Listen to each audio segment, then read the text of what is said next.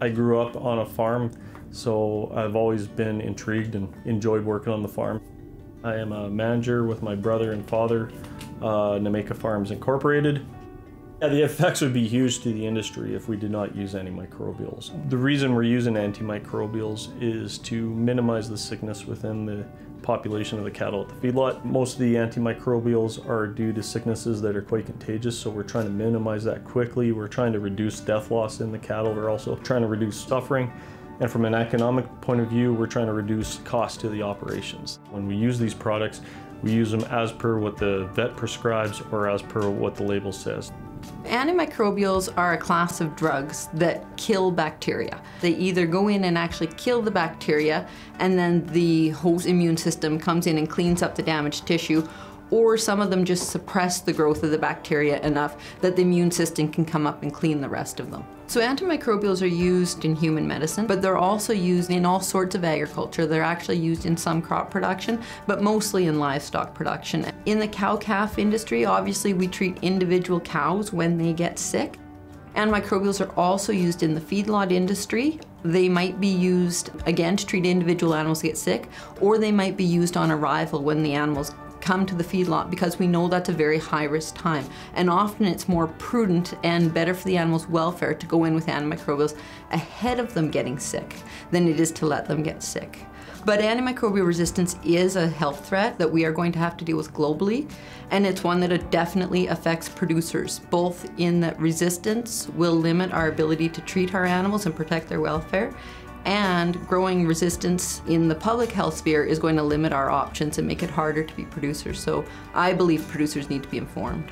I'm the science director with the Beef Cattle Research Council. I communicate with researchers about what industry's research priorities are. And the other thing I do is try to communicate with producers about what kind of research needs to be funded and what the research results mean. One of the common misperceptions is that all antimicrobials are the same, and in fact, they're quite different. The important distinctions are in how important those antimicrobials are in human medicine. There's four categories of them. The low importance category, which really means no importance in human health, and that is actually the category that's used most extensively in beef production. The second category is called medium importance, and those are drugs that are used in human medicine, and they're used to treat relatively minor bacterial infections, and there's a lot of alternatives. So if that a medium importance drug doesn't work, there's plenty of others that will work. And the next category is called high importance.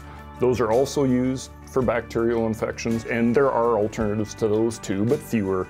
And the most critical category is called very high importance, and those are ones that are used for very serious bacterial infections. In beef cattle, less than 1% of the drugs that are used are in the high and very high importance categories combined. What's really important about those drugs is that if those don't work, we got nothing else in the beef industry in Canada, we have antimicrobials from all four of those categories licensed and registered for use. It's appropriate to use each class in a circumstance where the benefit to that animal or to that group of animals outweighs the risk of resistance.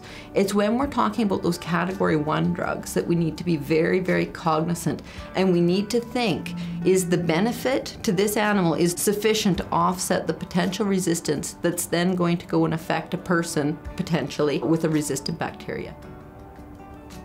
As a producer, I would urge you to be very cognizant of which drugs on your farm are category one, and those are the ones you need to have a, a, discussion with your veterinarian about when and why to use them. The primary reason that antimicrobial resistance is an issue is because antimicrobials are our major tool for treating bacterial infections.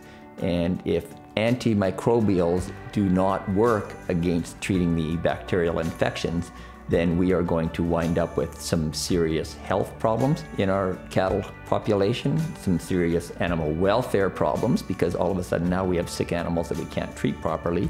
And the implications of we're not just raising animals, we're producing food.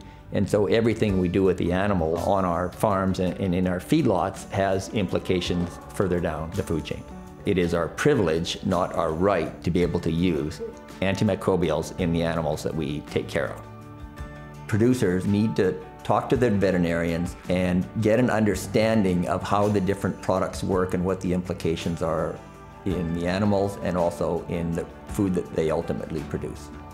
When we go through our health protocol, we work with our vets, so they will recommend the specific drugs we should be using. That comes from a combination of price, comes from a combination of how well the drugs have been working in the past, how well they're working in the industry, and that's how we decide what drugs to use, when we use them, how we use them.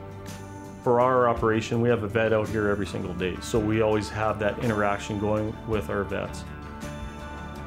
When you have an overtly sick animal in front of you, you know that you need to do something. And the most responsible thing to do is to pick the drug that has the best probability of curing that animal with the minimal impact on human health. Again, that decision might be a bit complicated to make, but with the assistance of a veterinarian, that's how you use it. If we're going to talk about how to reduce the development of resistance in the antimicrobials that we use, we need to change our management system. But examples of this would be low stress weaning and gives the calves more chance to adapt. One of the other management practices that we've had some big success with is pre-weaning vaccinations. If we take the calves and we pull them off the cows two weeks before weaning, run them through the chute, give them all of their fall vaccines, turn them back out with the cows for another two weeks. In that two week period, they're not under any stress at all. Their immune system has ample opportunity to develop a response to the vaccines and provide protection against these diseases.